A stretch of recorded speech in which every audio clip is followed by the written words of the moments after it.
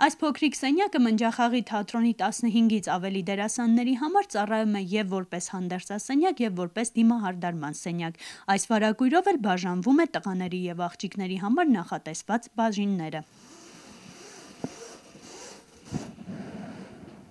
Հանդերձասենյակ, փորձասենյակ, փոքրիկ աշխատասենյակ, միջանցքում տեղադրված աթոռու սեղան եւ շաբաթական 1 օր, 5 շաբթի, 3 ժամով տրամադրվող բեմ։ 15 տարի է Մնջախաղի պետական թատրոնն աշխատում է այս պայմաններում պատանի հանդիսատեսի թատրոնի շենքում։ Սեփական շենք ունենալու վաղեմի երազանքը մոտ էր իրականություն դառնալուն։ 2017 թվականի փետրվարին մշակույթի նախարարությունը թատրոնին հանձնեց ազգային գրապալատի նախկին շենքը։ 1 տարի անց էլ նախագիծն էր պատրաստ։ Տվյալ դեպքում մենք ունենք բեմը եւ փորձասենյակը, այսինքն երկու process մենք միաժամանակ կարող ենք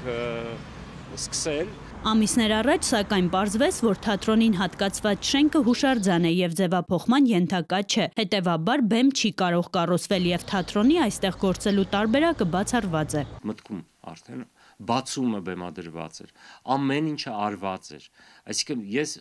քնում ու արթնանում եմ այդ երազանքով, թե երբ է մյուս մայիսը գալու որովհետև մենք 20 տարի դրանով ենք ապրել։ Մենք եկել հասել ենք մեր մրցանակին, որը դրված էր սեղանին, մենք ուզում էինք վերցնել, մեր ձեռքից խլեցին։ Առաջին կարևոր խնդիրը պարոն Դադասյանի համաձայնությունն էր, որովհետև մինչև հիմա այս 4 ամսվա ընթացքում Մենք իրեն մի քանի առաջարկ ենք ներկայացրել։ Մի քանի առաջարկ իրոք եղել է, ասում է Ժիրար Դադասյանը, սակայն եթե դրանք ընդունեին, կրկին ստիպված էին լինելու այլ թատերախմբի հետ համատեղությամբ աշխատել նույն շենքում, ինչն իրենց համար անընդունելի է։ Մենք էլ ենք սովորական պետական թատրոն այնպես, ինչպես մյուսները ինչի մեր ճակատին գրված է, որ մենք պետք է անընդհատ համատեղությամբ աշխատենք, մենք ոչ թե ոչ մի բանով չենք տարբերվում, այլ մենք բոլորովին այլ ֆունկցիա ենք կատարում, որը այդ թատրոններից շատ քչերն են կատարում եւ մեր երկրի համբավը բարձր ենք պահում եւ անունը բարձր ենք պահում դրսում, որովհետեւ ցանկացած մրցութային փառատոներից վերադառնում ենք անպայման մրցանակով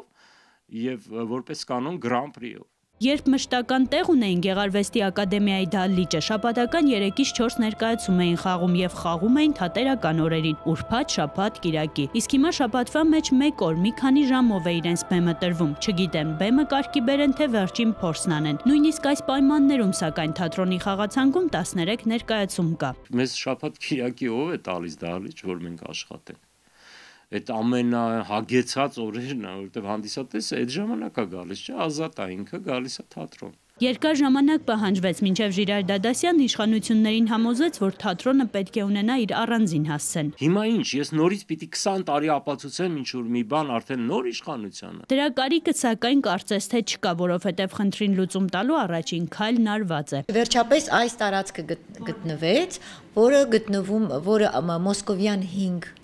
հասցեում է գտնվում, պատանի հանդիսատեսի թատրոնի բակում է հետևի Թատրոնի ղեկավարությունը եւս տեսել է շենքը, շատ է հավանել, պատրաստ է փոխանակել իրենց տրված նախորդ տարածքի հետ։ Սակայն այս շենքը դեռևս պաշտպանության նախարարությանն է պատկանում, բայց շուտով հանձնելու են պետական գույքի կառավարման կոմիտեին։ Այդ ժամանակ արդեն մշակույթի նախարարությունը կդիմի կոմիտեին տարածքների փոխանակության հարցով։ Երբ հանձնման ընդունման գործընթացը բարեհաջող ավարտվի, նոր նախագիծ պետք է գծվի եւ հետո արդեն վերանորոգում կատարվի։ Երկար տարիներ շենք ունենալու երազանքով ապրող թատրոնի անձնակազմը պատրաստ է որոշ ժամանակ էլ սպասել, այն հույսով, որ գոնե այստեղ կկարողանան իրականացնել իրենց վաղեմի ծրագրերը։ Ուզում ենք, որ մեր տեղը լինի ոչ թե թատրոնի համար միայն, այլ լինի Մնջախաղի արվեստի կենտրոնը, այն այն այն տեղը, որտեղ այն մարդիկ, ովքեր այդ ժանրով զբաղվում են, հնարավորություն ունենան դրսևորվելու, հասցե ունենան, տուն ունենան, ուր ուր կարող են գնալ, սիրելով այդ արվեստը։ Անի Ռափյան, Աշոտ Խաչատրյան, Արամ Միքայելյան, Վահե Օվսեփյան, Երկիրն այսօր։